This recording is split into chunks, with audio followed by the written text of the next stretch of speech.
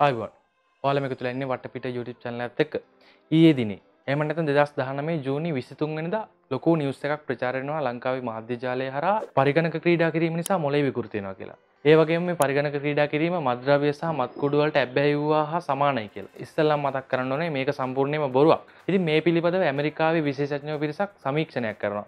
ඉතින් එයාලා යම්කිසි පිරිසක් අරගෙන ෂූටින් ගේම් එකක් ප්ලේ කරන්න දීලා එයාලගේ මනස චෙක් කරලා බලනවා මොන වගේද කියලා. ඉතින් ඒකෙදි ඔප්පු වෙනවා එහෙම මනස විකෘති වීමක් සහ මෙයාලා හිංසාකාරී දේවල් වලට පෙළඹෙන්නේ නැහැ කියලා එයාලා ඔප්පු කරනවා. ඉතින් තාක්ෂණය ගොඩක් දියුණු ඒ වගේ රටවල් ඔප්පු කරලා දීලා තියෙනවා පරිගණක ක්‍රීඩා කිරීමෙන් මනස විකෘති වෙන්නේ නැහැ කියලා. ඉතින් ලංකාවේ මාධ්‍ය ජාලවල නිවුස් එකක් එනවා මේ පරිගණක ක්‍රීඩා කිරීම මනස විකෘති වෙනවා ඒ වගේම මේක මත්ද්‍රව්‍ය මත්කුඩු වලට ඇබ්බැහි වුණා හා සමානයි කියලා. ඉතින් ඒ වගේ නිවුස් එක ලංකාවේ දෙමාපියන්ට පෙන්නලා දෙන මාධ්‍ය ජාලය කරන්නේ ඉන්දියාවෙන් හරි කොරියාවෙන් හරි මොකක් හරි කතාමාලාවක් කුසන් ඇවිල්ලා ඒකට හඬකවලා ඒක ලෝකෙට පෙන්වන එක.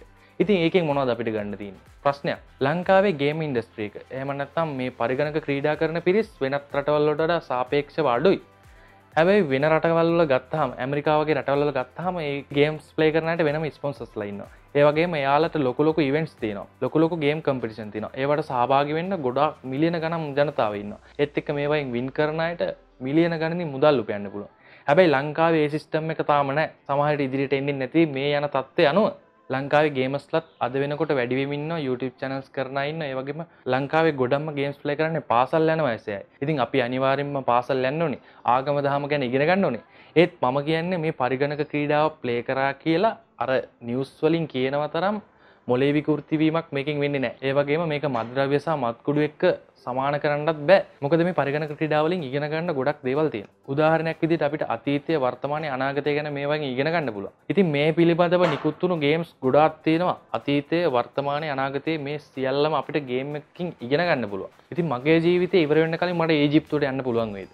ඊජිප්තුවේ පිරමීඩ බලන්න පුළුවන් වේද? ඉතින් ඒක ගැන හරියටම දැම්ම කියන්න බෑ. හැබැයි අපිට පරිගණක ක්‍රීඩාවක් කරා පුළුවන් ඊජිප්තුවේ තියෙන දේවල් අපිට බලන්න මේවටම නිකුත් වුණු ගේම්ස් ගොඩක් තියෙනවා. Assassin's Creed Origins වගේ ගේම්ස් වලින් අපිට පුළුවන් ඉතිහාසය ගැන ඉගෙන ගන්න. අපිට පුළුවන් පිරමීඩයක් ඇතුලේ තියෙන්නේ මොනවද? පිරමීඩයක් උඩට නැංගහම මොන වගේ view එකක් පේනවද? ඒ වගේම කාන්තාරයක ඇවිදගෙන යද්දි මොන වගේ feeling එකක් දෙන්නේ? ඒ වගේ දේවල් සාමාන්‍ය ජීවිතේදී අපිට ලබා ගන්න ගොඩක් අමාරුයි. ඉතින් මේ පරිගණක ක්‍රීඩාවක් කරා අපිට ඒ දේ ලබා ගන්න පුළුවන්. ඒත් එක්කම අනාගතයට ගියාම අනාගතේ මොන වගේ වාහන තියෙද? මොන වගේ වෙපන්ස් තියෙද? මොන වගේ තාක්ෂණ තියෙද? ඉතින් මේ දේවලුත් මේ ගේම් එකක් කරා ඉගෙන ගන්න පුළුවන්. සාමාන්‍යයෙන් ගේම් එකක් ප්ලේ කරන දිහා පිට ඉඳන් බලවොත් මේක මොන පිස්සුවක්ද කියලා හිතෙන්න පුළුවන්. හැබැයි ඉවසීම ක්ෂණික තීරණ ගැනීමේ හැකියාව වගේ දේවලුත් මේ පරිගණක ක්‍රීඩා කිරීම නිසා ලැබෙනවා. ඉතින් උදාහරණයක් විදිහට හිතන්න ලංකාවේ පරිගණක ක්‍රීඩා කරන පාසල් යන වයසේ ළමයි එයා ගේම් එකක් ප්ලේ කරනකොට එයා හිතනවා මේ ගේම් එක හදලා තියෙන්නේ කොහොමද? එතකොට මේ ගේම් එකේ මේ තියෙන ගස්වැල් වටපිටාව මේවා නිර්මාණය කරලා තියෙන්නේ කොහොමද? ඒ වගේම මේ වගේ ගේම් එකක් අපිට හදන්න බැරි වේද? අන්න ඒ වගේ පැත්තට හිතන ළමයිනුත් අනිවාර්යෙන්ම ඉන්නවා. ඉතින් ඒ අයට ටාගට් එකක් තියෙන පුළුවන් මාක් කොහොම හරි ලංකාවේ හොඳම ගේම් එක ඉදිරියේදී නිර්මාණය කරනවා කියලා. ඉතින් ඒ වගේ ටාගට් එකක් තියෙන කෙනෙක්ගේ ටාගට් එක නැති වෙනවා. එයාගේ අවස්ථාව නැති වෙනවා මේ වගේ නිවුස් මේ වගේ වැරදි නිවුස් ප්‍රචාරය වීම නිසා.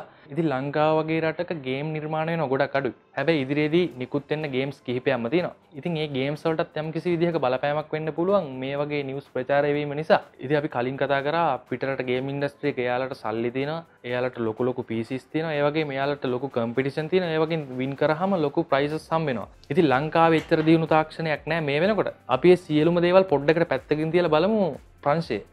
ප්‍රංශයේ නෝත්‍රඩෑම් පල්ලේ ලොකු ගින්නක් කඩගන්නවා මේ මෑතකදී. ඉතින් නෝත්‍රඩෑම් පල්ලේ කියන්නේ ක්‍රිස්තියානි ආගමයට ගොඩක් වැදගත් පල්ලයක්. ක්‍රිස්තියානි ආගමයට වැදගත් වෙන අවුරුදු දහස් ගණනක් පැරණි දේවල් මේ නෝත්‍රඩෑම් පල්ලේ තිබිලා තියෙනවා. ඉතින් මේ නෝත්‍රඩෑම් පල්ලේ මෑතකදී ගිනි ගන්නවා. ගිනිගෙන මේකේ වහලේ සම්පූර්ණයෙන්ම විනාශ වෙනවා. මේකේ වහලේ අවුරුදු 800කට වඩා පරණයි කියලා තමයි සඳහන් වෙන්නේ. ඉතින් මේ විදිහට ගිනිගෙන විනාශ වුණු නෝත්‍රඩෑම් පල්ලිය තිබුණ විදිහටම ප්‍රතිසංස්කරණය කරන්න යොදාගන්නේ පරිගණක ක්‍රීඩාව. ඒ තමයි Ubisoft ආයතනයෙන් නිකුත් වුණු Assassin's Creed Unity කියන ගේම් එක. අවුරුදු දහස් ගණනක් පැරණි ක්‍රිස්තියානි ආගමයට වගේම මුළු ලෝකයට වැදගත්වන ඒ වගේ අති දැවන්ත නිර්මාණයක ප්‍රතිසංස්කරණය කිරීමට යොදාගන්නේ අර මද්‍රව්‍යවලට ඇබ්බැහි වුණා හා සමානයි කියන පරිගණක ක්‍රීඩාව. ඉතින් ඒක පුදුමයට කාරණාවක් නෙමෙයිද? ඉතින් ඒක එක උදාහරණයක් විතරයි. ඉතින් මේ පරිගණක ක්‍රීඩා කිරීම මද්‍රව්‍ය වලට මත්කුඩු වලට ඇබ්බැහි වුණා සමානයි කියන නිවුස් එක දැක්කාම දෙමව්පිය මොනවා හිතනවද? ඉතින් එතනින් එහාට මෙයාලගේ පරිගණකේ වුණත් කුඩු කරලා විසි කරලා දාන්න පුළුවන්. ඒ වගේම තියෙන එක විකුණලා දාන්න පුළුවන්. ඉතින් එතකොට ලංකාවේ හොඳම තැනකට එන්න හිටපු කෙනෙක්ගේ අවස්ථාව නැති වෙනවා වගේ දෙයක් තමයි එතනින් වෙන්නේ. ඉතින් ගේම් ප්ලේ කරාට ප්‍රශ්නයක් නැහැ. හැබැයි ඉගෙන ගන්න කටයුතුත් හරියට කරන්න ඕනේ. ඉතින් පරිගණක ක්‍රීඩා කරන අය කොච්චර මේ ලෝකේ ඇද්ද? 1000ක් 2000ක් 3000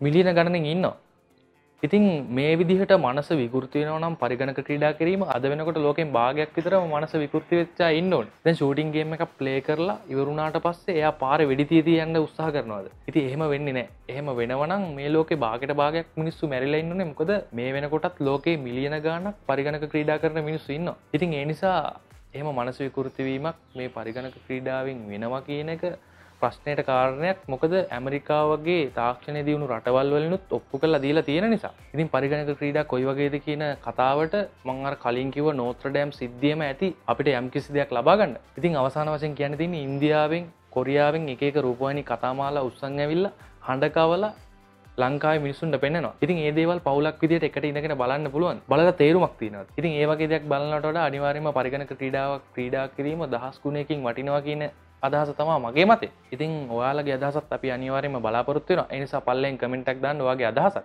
ඉතින් මේ විදිහම අලුත් වීඩියෝ එකකින් හමු වෙන බලාපොරොත්තු වෙන සමුගෙන යන්නටයි මේ සූදානම් වෙන්නේ. ඔයාලා තාමත් අපේ channel එක subscribe කරලා නැත්නම් දැම්ම පල්ලෙන් රතු වාඩ බටන් එක බලලා subscribe කරන්න. ඒ වගේම පුංචි bell icon එක click කරොත් අපි අලුතෙන් වීඩියෝ එකක් දාපු ගමන් ඔයාලා ළඟට ගෙන්න ගැනීමේ හැකියාවක් තියෙනවා. ඉතින් අලුත් වීඩියෝ එකකින් හම්බෙමු සියලුම දෙනාට සුබ දවසක්.